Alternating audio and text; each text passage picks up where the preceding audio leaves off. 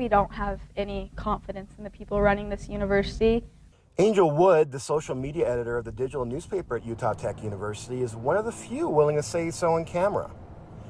The faculty senate voted 23 to 4 to issue a resolution of no confidence in current interim president Courtney White and five other administrators.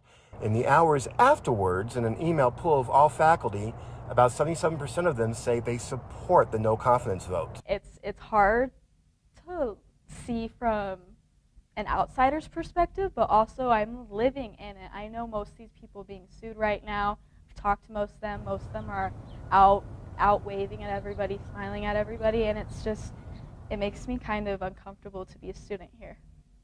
A lawsuit says Richard Biff Williams, who resigned as Utah Tech president late last year and is now president of Missouri State University, created a vulgar prank using sexual innuendo, then blamed the school's attorneys and Title IX coordinator, who were not involved in suing.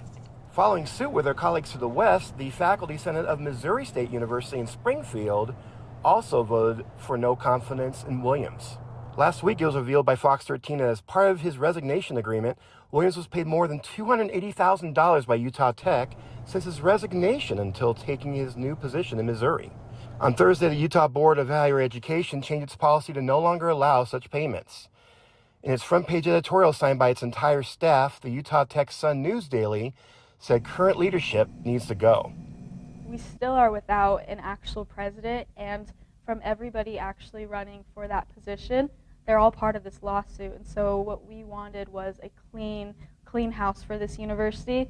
We truthfully don't want to see anybody being the president over this university that's been involved in all of these allegations and these lawsuits and this inappropriate, inappropriate behavior. From St. George, Chris Reed, Fox 13 News, Utah.